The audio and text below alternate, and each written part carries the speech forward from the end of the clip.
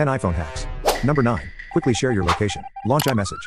Type I'm at. Make sure to hit the spacebar after at. You'll see current location appear and tap it to send your location. A pin with a quick link to get directions to your location will be sent. This is the fastest shortcut to share your location. Subscribe if you want to see the rest.